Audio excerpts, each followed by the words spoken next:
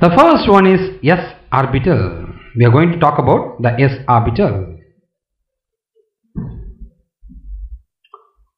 By definition, s orbital have a spherical shell shape and the faint dark blue circle represent the region of maximum electron intensity and density.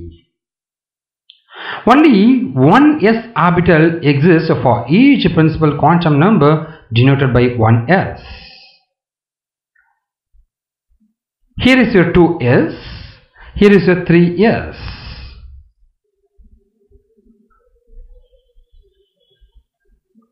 S orbital. When L is equal to 0, the value of M is equal to 0. There is only one possible orientation. This means that the probability of finding an electron is the same in all directions at a given distance from the nucleus. It should therefore be spherical in shape. This is your 1s orbital and this is your 2s orbital.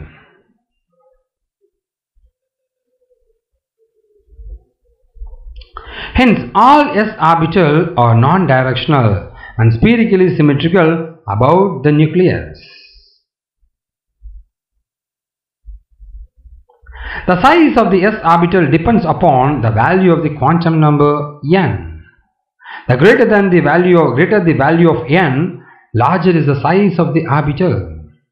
This is your s orbital.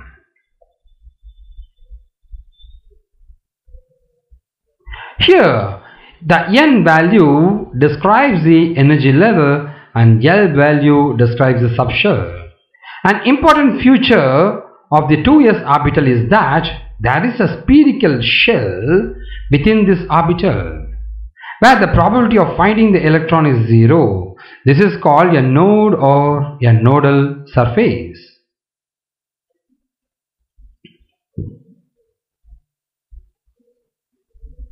In 2s orbital, there is one spherical node. The number of nodal surface or nodes in s orbital of any energy level is equal to n minus 1, where n is the principal quantum number. You are able to see this is 1s. You got two circles is 2s and you got three here it's 3s. And these are called as nodes. This is 1s and this is 2s and this is your node.